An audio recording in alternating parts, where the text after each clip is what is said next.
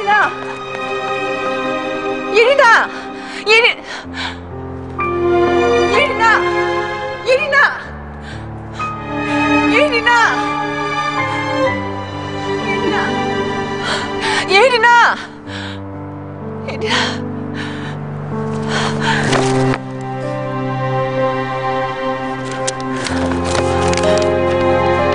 지나가던 길에 홍옥을 팔더라고요. 이맘때면 홍옥만 드시던 엄마 생각이 나서요. 전 잘 있으니까 걱정 마세요.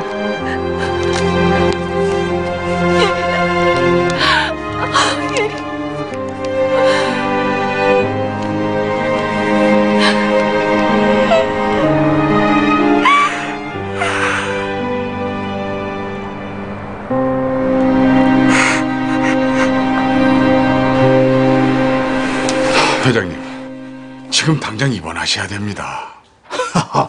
내가 입원할 시간이 어딨어요. 이러시면 정말 저희가 곤란합니다. 입원 안 해도 선생님이 시킨 대로 다 잘하고 있어요. 약도 시간 맞춰 먹고 그리고 심장에 무리 줄까봐 숨쉬기 운동도 조심조심 하고 있어요.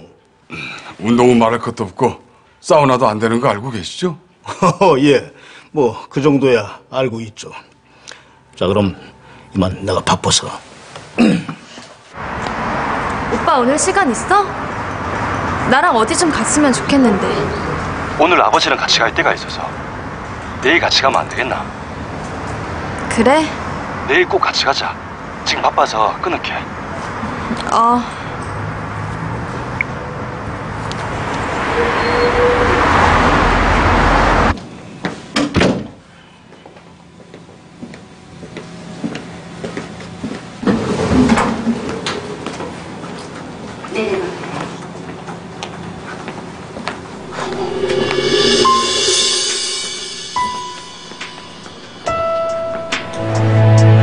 회장님 얼마나 편찮으신지 저도 알고 있어요.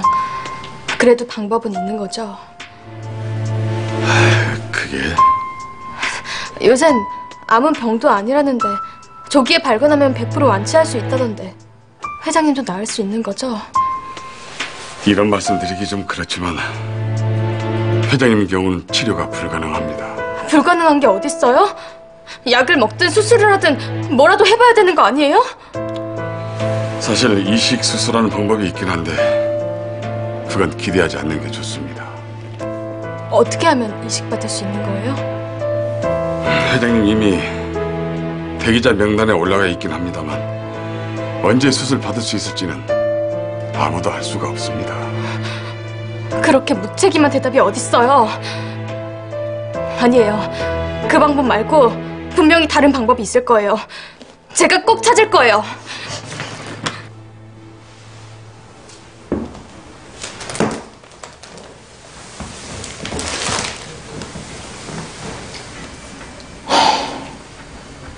정희 엄마 우리 아들이랑 같이 왔어.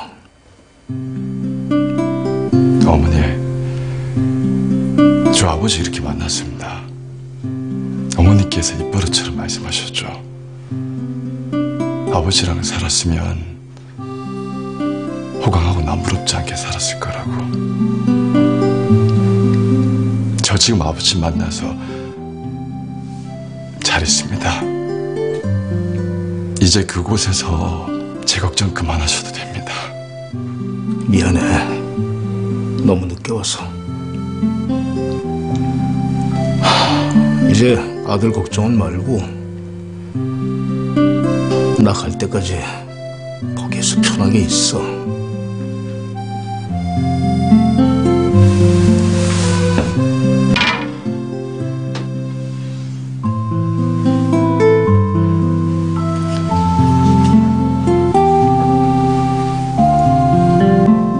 당신은 하나도 안 늙었네.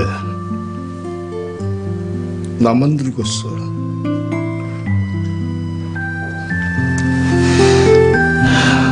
나 가면 나라는 보겠어?